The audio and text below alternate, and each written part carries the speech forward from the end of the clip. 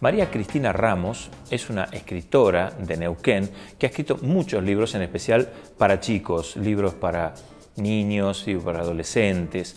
Y hoy nos presenta aquí en el señalador su libro La secreta sílaba del beso.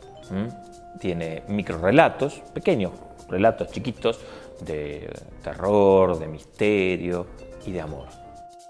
Esta es La secreta sílaba del beso, un libro de microficciones.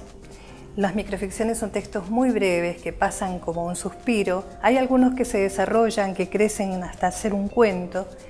Otros son rápidos, veloces, fugaces, como un trazo en el aire. Eh, está lleno de relatos, algunos de fantasmas, otros de amor, muchos de misterio. Y es eh, un libro que ha circulado mucho por la Argentina Em, en lugares insospechados para mí. Puedo compartir un texto, por ejemplo este, que se llama Pétalos. La mujer que estaba ciega cultivaba violetas. Las regaba con frecuencia, les quitaba la maleza, sentía el aire espumoso de su aroma. Un día sus manos comprobaron que algo extraño sucedía.